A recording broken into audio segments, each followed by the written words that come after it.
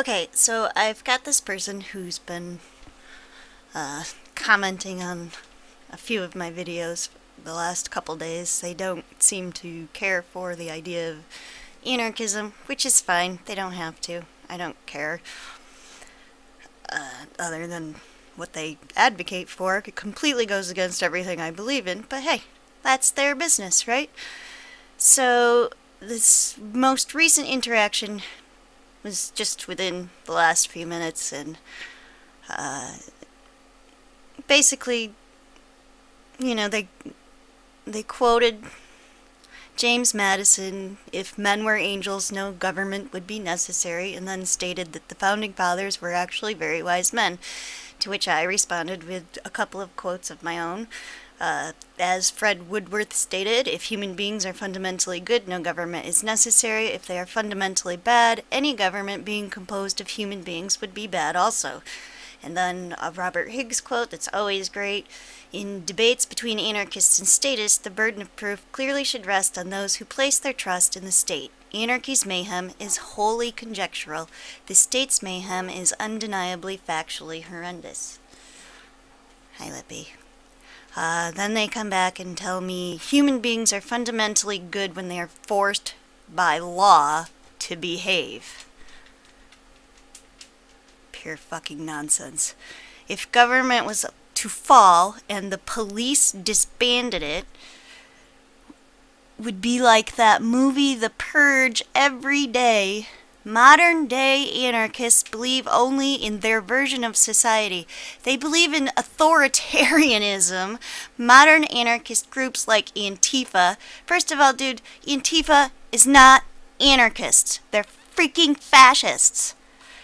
Believe that any talk that goes against their version of social justice should not only be shut down by should not only be shut down, but shut down with violence. The only reason we have free speech is the fact that it's in the Constitution, which was written by what you call statists. Now, I'm pretty sure without that piece of fucking magical paper, I could still say pretty much whatever I wanted, and no one could do anything about it, unless they stuck a gun in my face. Then it's violent, and then it's statism. Yeah.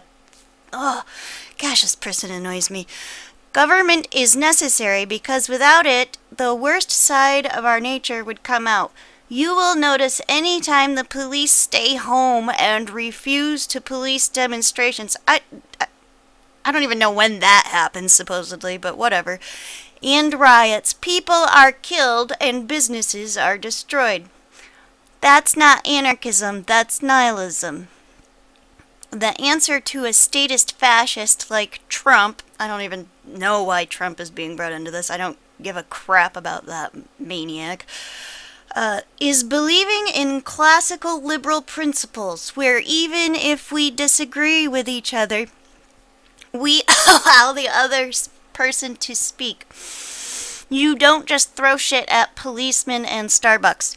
Doing that is just propaganda for Trump. Those images get played on government propaganda stations like Fox News and outrages the country and allows Trump to gain more control and hurt more people.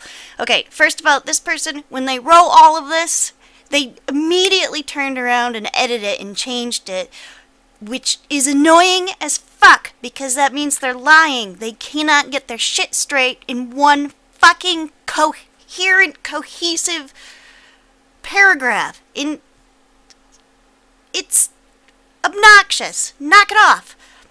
So then I reply to them, Antifa are not anarchists. Get a clue. To which they respond, Antifa call themselves anarchists, you dope.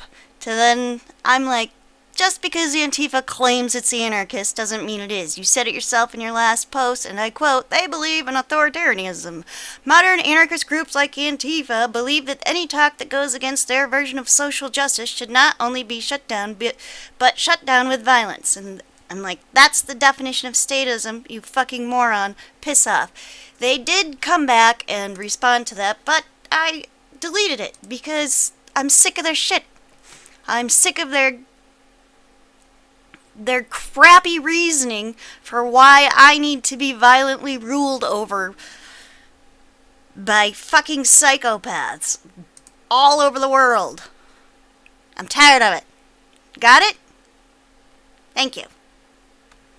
Have a nice day.